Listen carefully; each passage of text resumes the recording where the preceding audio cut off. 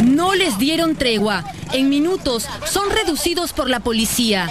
Una peligrosa banda de delincuentes que sembraba el temor en las obras de construcción del Sur Chico fue capturada en el kilómetro 85 de la Panamericana Sur.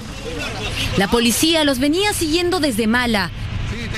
El segundo techo El segundo, el segundo. Son cinco ampones asolapados en uniformes de obreros de construcción civil, intentando confundir a la policía, emprendiendo una loca huida.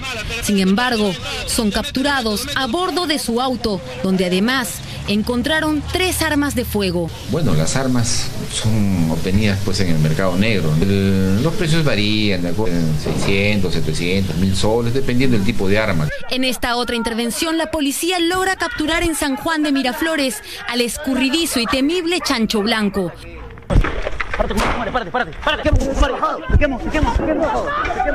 Por más que intenta huir corriendo por los pasajes de una quinta, está cercado.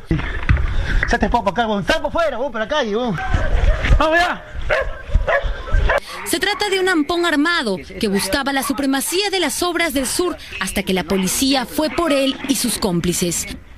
Los agentes encubiertos registraron minutos antes cómo este sujeto se dispone a cobrar un cupo de 1.500 nuevos soles a un ingeniero, pero está dispuesto a aceptar lo que sea. Lo que tú, lo que él planteó, que ya que sea la luca, ¿está bien o no? Ya que no sea 1500 ya. El gordo decía que gordo, no, no pasa nada, compadre, mucho, así, de arranque, ¿está bien o no, gordo? Esta es otra captura en Pueblo Libre. Observe cómo la policía, con los delincuentes reducidos en el suelo, cuenta uno a uno los más de 20 mil nuevos soles que fueron cobrados para evitar que ataquen a los obreros de un proyecto en Asia. Este producto la extorsión, ¿ah? Un millonario negocio es acechado por bandas criminales muy bien organizadas. Son extorsionadores dispuestos a matar para controlar un imperio de ladrillo y cemento, luciéndose por las calles, exigiendo mejoras para el gremio de construcción civil. También pedían, hacían exigencias de vehículos y sabe Dios qué otra cosa más. Muchos de ellos ya están tras las rejas.